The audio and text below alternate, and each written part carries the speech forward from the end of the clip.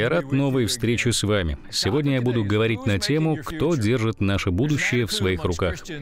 Среди христиан существует такое мнение, что наше будущее ускользнуло у нас из рук. Я лично не считаю, что это правда. И вообще это противоречит Библии.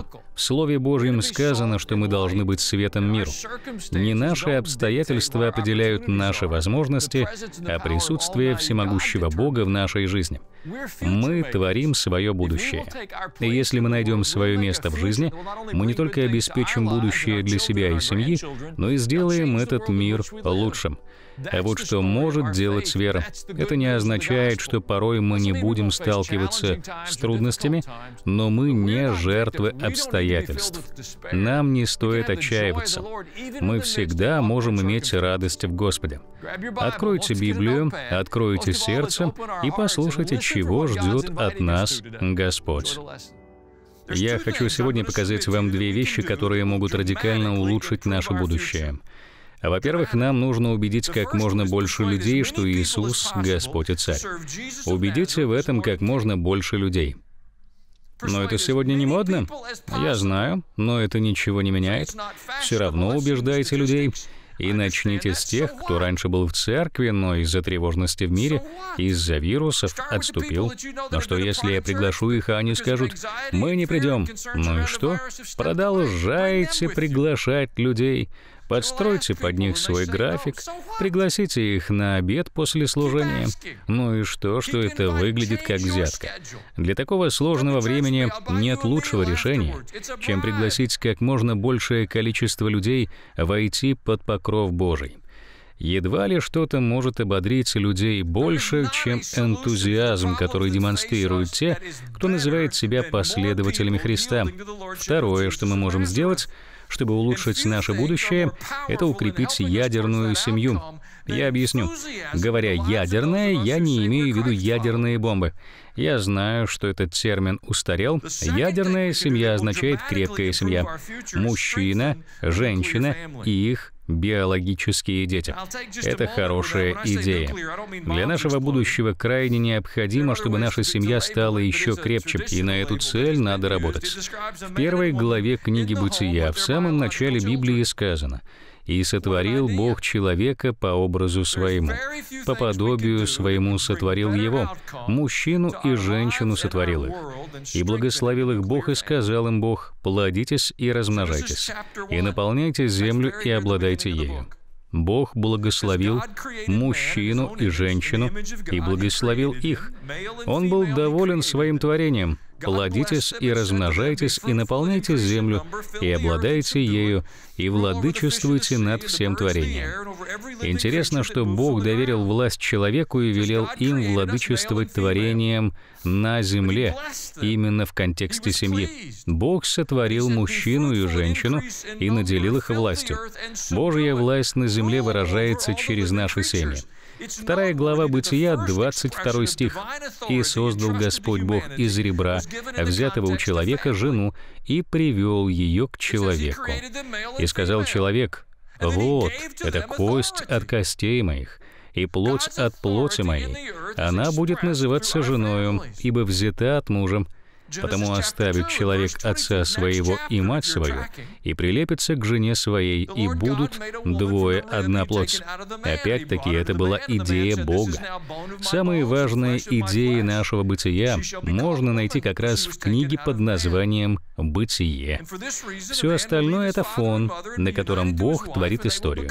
Но самые главные идеи заложены в книге «Бытия».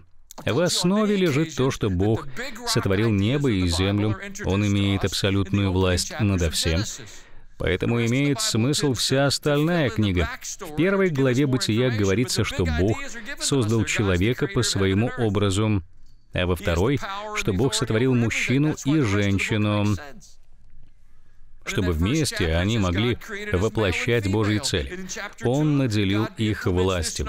Поэтому, несомненно, брак между мужчиной и женщиной — это самые благоприятные обстоятельства для здоровья и процветания человека. Это была идея Бога, а не пасторов. И в этом вся разница. Идея Бога — это рекомендуемые советы эксплуатации от производителя — Разве обязательно использовать рекомендации производителя? Нет, но результаты точно будут лучше. Вы можете купить новую красивую Феррари, загрузить ее под завязку прекрасной почвой из Теннесси и рассадить внутри помидорчики. Но едва ли это будет лучший способ применения Феррари. И уверяю вас, конструкторы завода Феррари не для этого творили такое авто. Когда мы говорим о термине «ядерная семья», забудьте о боли в нашей жизни. Я к этому еще приду. Дело не в вине и не в стыде но в том, чтобы как семья воплощать цели от генерального конструктора Вселенной. Лучшего плана не найти. Нет более просвещенного пути, по которому люди могли бы жить вместе. Сам Творец дал нам этот путь. Но наша реальность сейчас выглядит иначе. Мы видим беспрецедентную атаку на библейское понимание брака и семьи. Я думаю, что в какой-то степени намеренно производится попытка отвлечь нас другими вещами. То, что происходит с понятием семьи и брака в нашей стране и в мире — куда важнее, чем проблема того самого ковида. Из-за угрозы вируса мы полностью изменили свой уклад жизни. Я отказываюсь верить, что церковь больше боится вируса, пришедшего из китайского города Ухань, чем она боится Бога. Из-за угрозы вируса мы изменили очень многое в жизни, изменили способ общения с людьми, то, как мы делаем покупки, как едим и куда ездим. А ведь наша преданность Господу куда важнее, чем наш страх перед вирусом. Если бы мы в полноте понимали, к чему призывает нас Бог, мы бы полностью посвятили себя послушанию Ему с благодарностью. И сегодня статистику могут использовать в каких угодно случаях. Мы видим это каждый день. Но в 1970 году в США родились 3 миллиона 700 тысяч детей.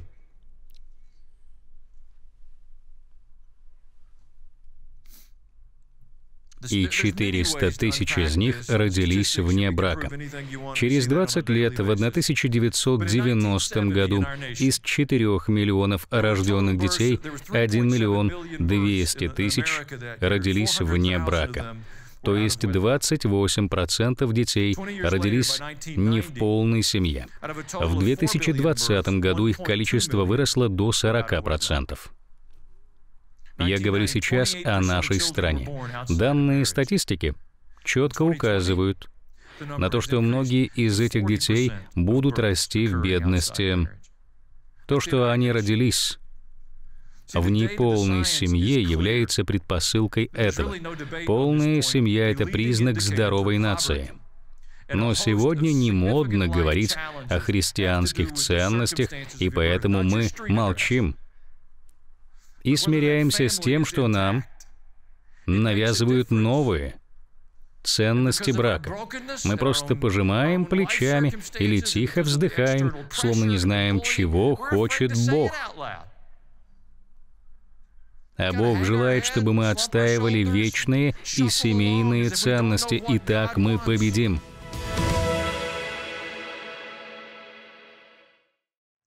Друзья, от нас, как от церкви, зависит многое. Мы должны твердо стоять за истину. Мы должны проповедовать Библию без стеснения, без стыда и ни перед кем не извиняясь. Мы должны четко решить для себя, мы верим в то, что Бог говорит в Своем Слове или нет. Мы должны решить, Слово Божие — это непоколебимая истина или это просто предложение, а человек уже сам решает, что для него лучше. Не думаю, что мы хотим однажды сказать Богу, «Я решил, что мне лучше знать, как мне жить». В мире происходит постепенная деградация семейных ценностей. Некоторые шаги предприняты недавно. Так, несколько десятков лет назад в Америке произошла сексуальная революция. Они поставили акцент на том, что секс — это удовольствие, упразднив ответственность, которую несет за собой размножение. Говоря о сексе, мы редко упоминаем ответственность. В основном все говорят об удовольствии. Поиск удовольствия, личное удовлетворение. Но секс включает и ответственность. И также мы видим, что сегодня дают новое определение понятию воспитания. Воспитание детей систематично отдаляется от жизни веры. Все извратилось так, что главное теперь это личные достижения детей. Как будто мы соревнуемся, воспитывая детей. Этому способствуют соцсетям. Одна семья выставила фотографии с отдыха, а другие в ответ выставляют свои фото. Что ж, посмотрим, у кого был отпуск лучше, и затем они набирают лайки. Зачем вообще постоянно соперничать? Воспитание детей — это ответственность. Ставьте цели выше, чем просто выставлять себя на показ. У нас не так много времени с нашими детьми. Нам некогда ставить опыты методов воспитания. Да, в них ваша ДНК, но они не ваша собственность. И Бог спросит у вас за них. Гораздо большую роль в этом сыграет их вера и то, что вы вложили в их сердца, а не внешние моменты. Итак, сексуальная революция — обесценивание понятия воспитания. И также мы превратили аборт в обычную услугу для нашего удобства. С тех пор, как был принят закон об абортах, в нашей стране убито 60 миллионов нерожденных детей. Все ради нашего удобства. Это атака на понятие «семья». В итоге разрушительная сила вины и стыда — мы застыли и не можем ответить на это. А это ведь касается всего общества. Может, вы сами этого не делали, но и не возвышали против этого голос. И потом мы дали новое определение понятию «брак». Это произошло несколько лет назад. Все началось с верхов, с высших эшелонов власти в нашей стране. Они решили, что пора переделать понятие «брак». Я не думаю, что Бог изменил свое мнение, но в нашем обществе брак больше не считается заветом между мужчиной и женщиной. Теперь любой человек может определять брак так, как ему хочется. Хочешь вообще, можешь жениться на дереве, просто вставь формулу брака компоненты, которые нравятся тебе. Несколько лет назад я проводил встречу с одной семейной парой. У них были проблемы в семье, и они заявили, что у них разное мировоззрение. Я сказал им, если вы не включаете в понятие брак-завет перед Богом между мужчиной и женщиной, то можно извратить любые отношения. Но Бог не передумал. Как следствие, гомосексуализм стал в нашем обществе нормой. Сейчас на повестке дня новый вопрос – трансгендеры. Нас столько лет призывали прислушиваться прислушиваться к тому, что говорит наука. Ну что ж, давайте посмотрим, что говорит наука о вопросе трансгендеров. Я в этом смысле. Я вырос на ферме. Абсолютно все особи для секса ищут себе особь противоположного пола. Сейчас гендер — это популярное слово. И это понятно, ведь мы живем в мире — где стремительно перекраиваются ценности. Но изначально слово «гендер» было грамматическим термином для определения рода существительного. Но сейчас нам говорят, что многие люди путаются в том, какому полу они принадлежат, и что якобы это стало эпидемией. Бог есть Бог устройства, а не путаницы. Тут не о чем гордиться. С путаницей нужно разбираться, а не поднимать ее на знание. В наше время поднимаются вопросы о том, чтобы разрешить детям до пубертатного периода самим определять, стоит ли им сменить пол. И это нонсенс. Церковь должна возвышать голос против этого. Спортсмены-трансгендеры? Вам тоже кажется, что у них будут преимущества в соревновании? Но предпринимаются серьезные шаги, чтобы упразднить понятие «семья», как мы его знаем. Как ее задумал Бог. Однако мы в большинстве случаев молчим. Нам разрешили отстаивать права женщин, и теперь якобы мы им должны, и поэтому мы молчим. Потом они придумают еще одно очередное извращение, и мы снова будем молча все принимать. Дело не во власти и не в возможностях, но в том, какие стандарты установил Бог и что Он говорит об этом. Мы Его народ. Так что же мы можем сделать? Если наши действия творят наше будущее, тогда что мы можем сделать? Мы не бессильны. Начнем с того, что мы знаем. А вот уже несколько месяцев мы с вами изучаем три слова «покаяться», «отречься» и «отпустить». Покаяние — это когда мы признаем, что шли в неправильном направлении, и наши дела были злыми. Поэтому теперь мы выбираем правильное направление. Мы отрекаемся от неправильного влияния на наше мышление, от духовной двери, которую мы сами открыли через непослушание или через грех. Какими бы безнравственными ни были наши решения, крови Иисуса достаточно, чтобы нас омыть. А отпустить означает перестать держать обиду, перестать быть враждебным. Так в чем же нам нужно покаяться как церкви? Не нужно делать вид, что мы не понимаем. Нам нужно покаяться в сексуальной безнравственности, как обществу в целом, так и церкви.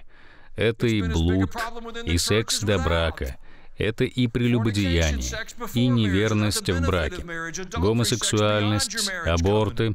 Также нужно раскаяться в том, что родители бросают своих детей за то, что мы поверхностно относимся к институту брака. Наше общество, правда, виновно во всем этом. И мы не просто тыкаем пальцем, обвиняя всех вокруг. Мы вместе с Богом должны разобраться со своей жизнью, пребываем ли мы в истине. Надежда христианина в силе креста. Иисус заплатил цену за все грехи в нашей жизни. Нам не стоит их отрицать, оправдывать или прятать их. Да, мы были нечисты, но мы выбрали иной путь, и мы можем приходить к кресту Иисуса Христа и через покаяние, через отречение от такого поведения, через то, что мы прощаем и отпускаем все обиды, быть омыты и оправданы. Словно мы не грешили вовсе. Мы можем быть освящены и отделены для святых Божьих целей. И у нас теперь новый путь, Попросите Духа Святого напомнить вам все, что вы делали, всякую мысль или слово, всякое молчание, когда нужно было возвышать голос за правду. Попросите Его напомнить вам, чтобы вы могли в этом покаяться. Нам вовсе не обязательно носить бремя вины и стыда. Мы можем быть свободны от них. И второе, что мы должны делать, мы должны учить своих детей — Мы должны наставить их в истине, а не бросить на амбразуру культуры. Мы не можем поручить это учителям в школе, в университете или позволить соцсетям формировать их ценности. Мы должны вкладывать в них свое время, вкладывать в них правильные ценности. Мы должны обучать наших детей истине Божией. Если ваши дети уже выросли, все равно вы должны понимать, что защищать детей — это наше призвание от Бога.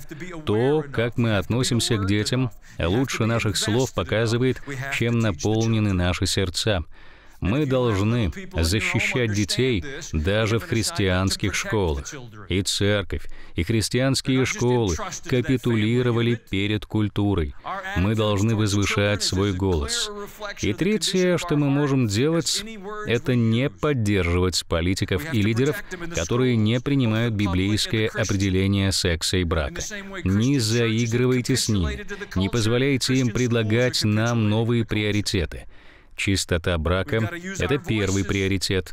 Все остальное уже истекает из этого. Крах понятия семьи не излечить никакой суммой денег. Все начинается с Божьей идеи о семье. Четвертый пункт более личный. Мы должны примирить разницу между нашими стандартами и нашей сломленностью. Я объясню. Если вы сломлены, это не означает, что вы можете жить плотской жизнью. Послушайте, заигрывание с грехом погубит вас. Думаете, вы сможете это контролировать? Не сможете. Я молился с десятками людей, чья жизнь была разрушена из-за их нечестия. И никто из них не сказал, «Я знал, что так будет». Все говорили, «Я думал, что смогу держать себя в руках, что у меня все под контролем». Все дело в том, что нам дан высокий стандарт, Божья святость. Бог святый, Он сказал, без святости никто не увидит меня. Святость обязательно. Поэтому было необходимо, чтобы Иисус пришел во плоти, поэтому так важен крест. Сами мы не можем себя спасти. Иисус вознес на крест проклятие нашего греха, чтобы мы имели все преимущества Его совершенной святости. Мы принимаем святость веры, а то, как мы живем, показывает, насколько мы ценим жертву Христа. Итак, стандарт — Божья святость, а наша реальность несколько ниже. В наших сломленных жизнях, в наших грехах и их последствиях или в ловушках — которые нас ловит лукавый. И поскольку мы понимаем всю реальность, насколько мы сами по себе далеки от святости, насколько мы сломлены и безнравственны, мы понимаем, что, безусловно, наше поведение — в прошлом было недостойным. И поэтому мы делаем вывод, что мы не имеем права кому-то что-то предъявлять. Но если мы не будем придерживаться высшего стандарта, Божьей святости, мы скатимся в самую бездну. Я знаю, низкие стандарты нынче в моде, и это так. Если не срабатывает система образования, мы просто переделываем систему оценивания. Если мы убиваем себя с помощью вилки, мы даем обжорству новое определение. Но церковь не может просто придумывать новые определения. Мы должны быть солью и светом. Божьи стандарты не изменились. И мы обязаны говорить о них миру, не потому что мы достигли совершенства, а потому что мы достигаем вместе с Ним, с Господом. Мы сильны в Господе. В конце программы мы обязательно совершаем молитву. Итак, вопрос в том, кто творит наше будущее. Конечно, Бог. Не дьявол творит наше будущее. Не бойтесь Его. Стойте в имени Иисуса. Будьте светом и солью этому миру. Это время не страшное, а захватывающее. Отец, напитай нас Духом Своим, Своей отвагой, уверенностью и дерзновением, чтобы мы исполнили свое предназначение. Я прошу, чтобы мы ощущали ощущали Твое присутствие рядом и не имели страха ни перед какой проблемой. Во имя Иисуса. Смотрите каждую неделю нашу программу с пастором Аланом Джексоном, а также заходите на наш веб-сайт, где вы можете найти прекрасные ресурсы, которые помогут вам подняться на новый уровень вашей христианской жизни. Мы также просим вас подумать о том, чтобы поддержать нас в распространении этого послания по всему миру. Это будет возможно только с вашей помощью. Поэтому подумайте о том, чтобы стать нашим партнером. Спасибо, что вы с нами и что являетесь частью этого служения. До скорой встречи в нашей программе с пастором Алланом Джексоном.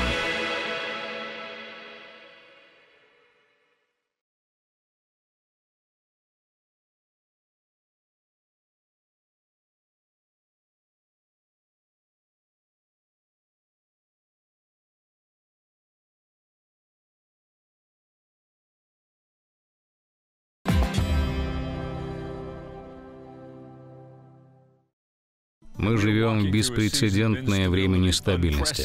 Такого не было еще недавно. Но я верю, что народу Божьему не время бояться. Нам пора проявлять отвагу. Мы сделали сборник молитв. Мы пользуемся ими в нашей церкви. В них мы полагаемся на крест и на то, что он приносит в нашу жизнь. Мы не можем полагаться на политиков. Наше основание в кресте Иисуса Христа. Крест — это не только наша путевка на небеса, чтобы не оказаться в аду. Писание говорит, что через крест нам даровано все для жизни и благочестия. Эти молитвы помогут нам преодолеть страхи и тревоги. Мы не одни в этом мире. Через крест своего Сына Иисуса Бог сделал все, чтобы о нас позаботиться. Возьмите эти молитвы на вооружение. Молитесь ими каждый день. Через них Бог укрепит вас, вашу семью, ваших друзей, и вы почувствуете разницу. Мы вышлем вам сборник молитв в качестве благодарности за ваше пожертвование от 40 долларов и выше. Используйте эти молитвы, и вы увидите, как сила Божья изменит вашу жизнь. Книга пастора Аллена «Через крест» даст вам хороший старт. В книге вы найдете молитвы на 28 дней. Каждая из них основана на обетованиях, которые принадлежат нам через крест Христа. Эти молитвы укрепят вашу веру веру в этом меняющемся мире. А также мы вышлем вам в подарок брелок на ключи в виде креста из нержавеющей стали. Он послужит вам ежедневным напоминанием о силе креста. Сделайте заказ через сайт или по телефону, который вы видите на экране. Спасибо вам, что поддерживаете служение пастора Алина Джексона. Мы изменяем этот мир вместе. Многие из вас лично посетили служение пастора Алина Джексона и церкви World Outreach в Мидл, Теннесси. Мы вдохновлены тем, что вы приезжаете к нам и свидетельствуете, и тем, что мы можем вместе поклоняться Господу. Если вы планируете к нам приехать, мы поможем вам спланировать вашу поездку. Зайдите в раздел «Визит» на нашем сайте, и вы найдете там информацию о гостиницах, времени проведения служения, движении и о том, как нам легче добраться. Сообщите, когда вы планируете приехать. Мы хотим вручить вам подарок от пастора Алина и сообщить, будет ли он проповедовать в день вашего приезда. До или после служения вы можете погулять по территории церкви, посетить нашу книжную лавку, попить кофе или отдохнуть. Зайдите на сайт и сообщите нам о вашем визите. Теперь как никогда легко получать новые проповеди от пастора Аллена с нашим новым приложением. Вы можете смотреть ваши любимые передачи, когда и где вам удобно, участвовать в онлайн-служениях. Вы можете слушать записи служений, использовать обучающие инструменты для развития своей духовной жизни. Также вы можете присоединиться к нашему плану чтения Библии. Читайте или слушайте. Вы можете стать нашим партнером, помогая распространять Евангелие. На любом устройстве просто введите в поиски приложение «Служение Алина Джексона». Ищите наш фирменный значок. Скачайте наше приложение и вдохновляйтесь Словом Господа нашего.